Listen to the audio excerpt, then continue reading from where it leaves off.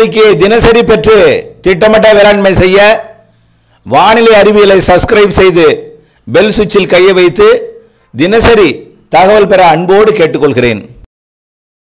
Selvakumar weather dot com இணையதளத்துடன் இணைந்து audio வடிவ அறிக்கையையும் எழுத்துப்பூர்வ அறிக்கையையும் உங்கள் தேவைக்கேற்ப பயன்படுத்தி கொண்டு திட்டமிட்ட வேளாண்மை செய்ய அன்போடு கேட்டுக்கொள்கிறேன். வணக்கம். செல்வகுமாரின் கோடை மழையும் இருவேறு பருவமழைகளும் எப்படி இருக்கும்? எல்லினோ குறித்த அச்சம் போக்கி பருவமழை எப்படி இருக்கும் என்கின்ற வானிலை ஆய்வறிக்கை இரண்டாயிரத்தி இருபத்தி மூன்று மே மூன்று. புதன்கிழமை அதிகாலை நிலவர வானிலை பதிவு அதிகாரப்பூர்வ வானிலை அறிக்கைக்கு இந்திய வானிலை ஆராய்ச்சித்துறை அறிக்கையை பார்க்கவும். கோடை மழை ஏற்கனவே அறிவித்தது தான் இன்றைக்கு தேதி மூன்று. நான்காம் தேதி வரைக்கும் மழை பொழிவு இருந்து கொண்டிருக்கும் பரவலாக இருவேறு காற்று சந்திப்பு காரணமாக. ஐந்து ஆறு தேதிகளில் சற்று தீவிரம் குறைந்தாலும் மழைப்பொழிவு தொடர்ந்து கொண்டிருக்கும் அதே குணாதிசயத்தோட.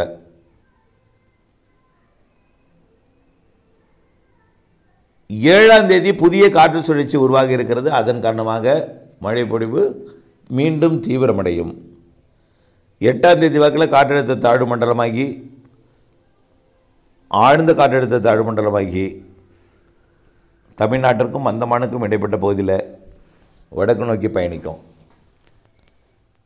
இதனால் மேற்கு காற்றை ஈர்த்து மழைப்பொழிவை தமிழ்நாட்டில் கொடுக்கும். பன்னிரெண்டாம் தேதி வாக்கில் அது விலகி சென்று மியான்மர் கரையை கடக்கும் சிட்டகாங் அருகே. பங்களாதேஷை ஒட்டிய சரி பங்களாதேஷில் மியான்மரை ஒட்டிய பகுதியில். ஆக இந்த பதினோராம் தேதி வரை மழைப்பொழிவை கொடுத்துவிட்டு பன்னிரெண்டாம் தேதிக்கு பேர் புயலாகி விலகி செல்லும். இதனால் வெப்ப காற்று அதாவது வெப்பத்தை லேசாகி மேலெழுந்த நீராவியை மேலடுக்கில் மழைப்பொடிவாக மேற்கு தொடர்ச்சி மலை மாவட்டங்களில் கொடுத்துவிட்டு வறண்ட காற்றாக மேற்கிலிருந்து கடலோர மாவட்டத்திற்கு வெப்பநிலை உயர்த்துவதற்காக வரும். இருந்தபோதிலும் மேற்கு தொடர்ச்சி மலை மாவட்டங்களிலும் கிழக்கு தொடர்ச்சி மலை குன்றுகளிலும் வெப்பத்தால் லேசான காற்றை குளிர்வித்து மழைப்பொழிவை கொடுக்கும். ஆனால் வெப்பநிலை உயரும் பதினோராம் தேதியிலிருந்து பன்னிரெண்டாம் தேதியிலிருந்து. அடுத்தபடி பார்த்திங்கன்னா பதிமூன்றாம் தேதியிலிருந்து இருபதாம் தேதி வரைக்கும் அந்த நிகழ்வு போய் கரை கடந்து புதிய நிகழ்வுக்கு உருவாக காற்று கலைந்து திரும்புவதற்கே மூன்றாவது வாரம் முழுமையாக ஆகிவிடும். ஆக கண்டிப்பாக இம்மாத பதினோராம் தேதி வரை மழை அதற்கு அப்புறம் வெப்ப சனத்துடன் கூடிய இடிமழை கடும் வெயிலுக்கு பிறகு புழுக்கத்திற்கு பிறகு இருக்கும். இருபதாம் தேதி வாக்கில் மேலும் இருபதுலேருந்து இருபத்தைந்துக்குள்ளே மேலும் ஒரு நிகழ்வு உருவாகவா சாதக சூழல். அது இருபத்தைந்துக்குள் உருவானால் வங்கக்கடலில் உருவாகும்.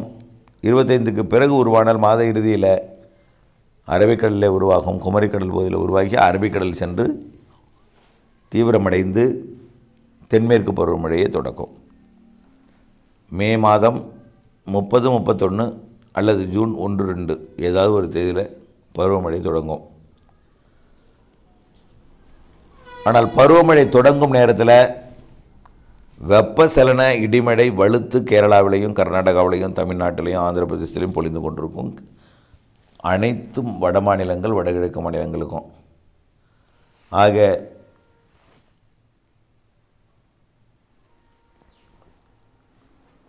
மாத இறுதி நாட்களில் பருவமழை தொடங்கும் பொழுது தென்மேற்கு பருவமழை கேரளா கர்நாடகாவில் தொடங்கும் பொழுது பருவமழையா அல்லது தொடங்கிவிட்டதா பருவமழை?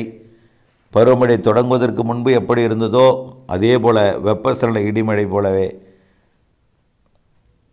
தென்மேற்கு திசையிலிருந்து மழைப்பொழிவை கொண்டு வந்து மேற்கு திசையிலிருந்து மழைப்பொழிவை கொண்டு வந்து கொடுத்து கொண்டிருக்கோம். ஆக படிப்படியாக தென்மேற்கு பருவமழையோட தீவிரம் கேரளா கர்நாடகாவை விட்டு வட மாநிலங்களுக்குள் நகரும்.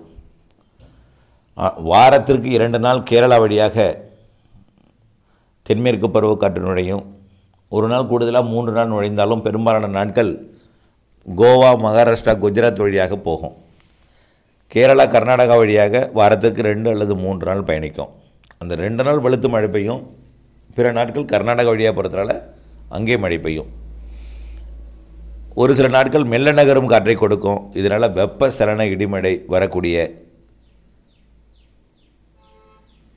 ஜூன் மாதம் முதல் ஆகஸ்ட் இருபது வரைக்கும் தென்மேற்கு பருவமழை காலத்தில் எப்பெல்லாம் தென்மேற்கு பருவக்காற்றோட வேகம் குறைந்து மகாராஷ்டிரா வழியாக குஜராத் வழியாகலாம் பயணித்து கொண்டிருக்கிறதோ அப்பொழுது இங்கே வெப்பசலன இடிமழை தமிழ்நாட்டில் பொழிந்து கொண்டிருக்கும். கண்டிப்பாக ஆகஸ்ட் இருபதுக்கு மேல்தான் பருவமழையானது தீவிரமடையும். அப்பொழுது ஆந்திர கரையோரம் காற்றழுத்த தாழ்வு பகுதி உருவாகி அது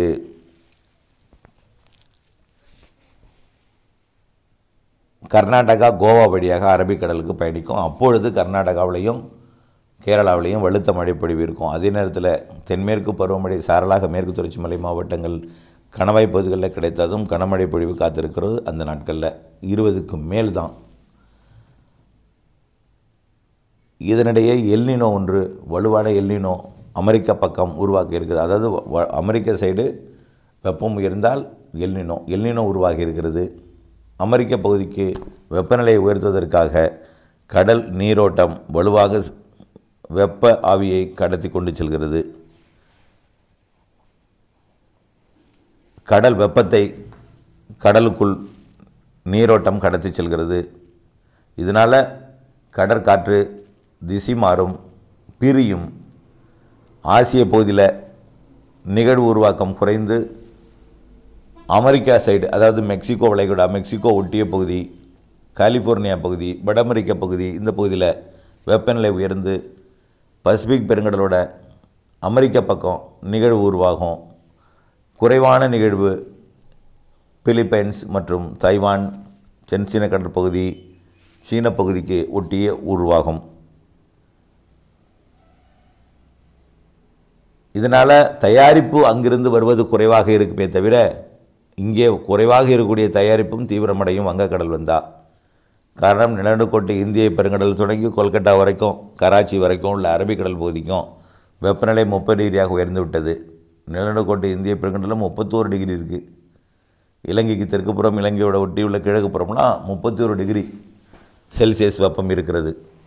ஆக இது கடல் நீராவியை அதிகமாக வெளிப்படுத்தும். காற்று கடல் நீராவியை கொண்டு வந்து சிறு நிகழ்வாக இருந்தாலும் அதிக மழைப்பொழிவை கொடுக்கும். ஆக கடல் வெப்பம் உயர்வின் காரணமாக வெப்ப நீராவி மிகுந்து மிகுதியாகி சிறு நிகழ்வு உருவானால் கூட அனைத்து மாநிலங்களுக்குமே தென்மேற்கு பருவமழை காலத்தில் சிறு நிகழ்வு உருவானால் கூட மழைப்பொழிவு நல்லா கொடுக்கும். கேரளா வழியாக போவது தான் ரெண்டு நாள் வாரத்துக்கு ரெண்டு அல்லது மூன்று நாள் பிற நாட்கள் எல்லாமே சிறப்பான மழைப்பொழிவு மகாராஷ்டிராவில் இருக்கிறது. அதற்கு பிறகு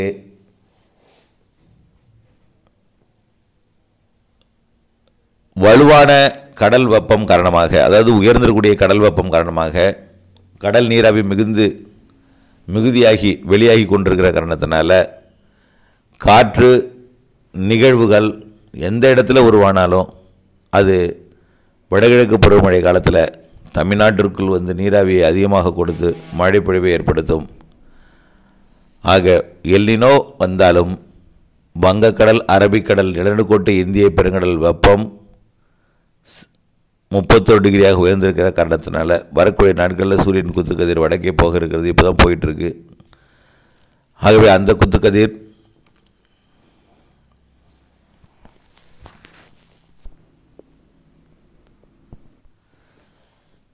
வட இந்திய மழைப்பொழிவை உயர்த்தும் அதே நிலையில் தமிழ்நாட்டில் வெப்ப சலனமழையை கண்டிப்பாக June July August September October தென்மேற்கு பருவமழை அக்டோபர் மாதம் இருபதாம் தேதி நிறைவடையும் வரைக்கும் தென்மேற்கு பருவமழை காலத்தில் வெப்பசலன இடிமழையை தமிழ்நாட்டில் அனைத்து மாவட்டங்களுக்கும் கொடுக்கும். ஆனால் கேரளாவில் உடனடியாக வெள்ளப்பெருக்கு ஏற்படும் அளவிற்கு மழை இருக்காது. அணைகள் திறப்புக்கேற்ற வரத்து இருந்து கொண்டே இருக்கும்.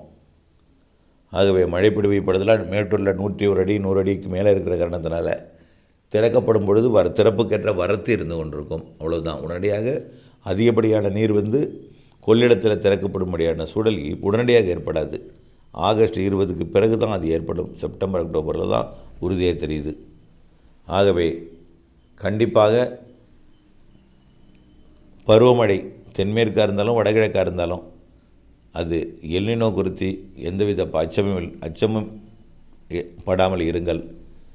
எல்நிலவு நினவுக்கு சமமாக வங்கக்கடல் நீ வெப்பநிலை வளிமண்டல அமைப்பெல்லாம் சாதகமாக இருக்கிற காரணத்தினால சிறு நிகழ்வும் அதிக மழை பொழிவை கொடுக்கும். வலுவான நிகழ்வுகளும் புயல்களும் வடகிழக்கு பருவமழை காலத்தில் இருக்கிறது. ஆகவே அச்சப்படாமல் வானிலை இணைந்திருந்து வானிலை மாறுதல் அறிந்து திட்டமிட்ட வேளாண்மை செய்ய அன்போடு கேட்டுக்கொள்கிறேன். நன்றி.